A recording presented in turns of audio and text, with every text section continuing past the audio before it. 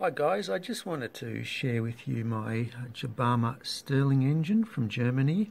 The model is the A110.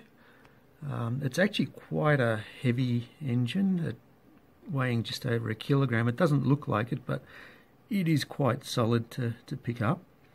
Um, one of the nice features on this engine is this sandblasted aluminium finish. Um, in my opinion, it just adds this really nice touch of class to the engine.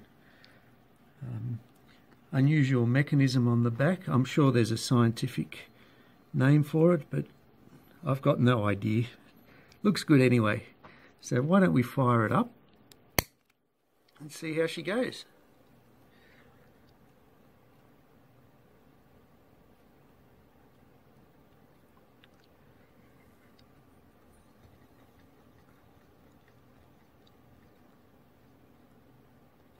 Just let it warm a little bit longer.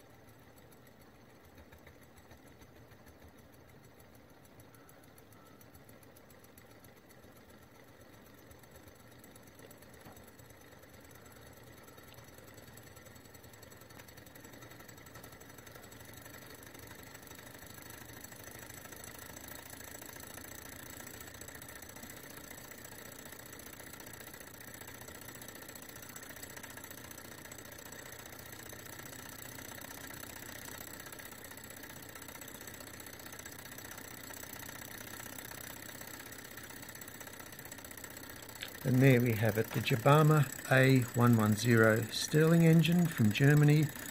Nice looking engine, nice running engine.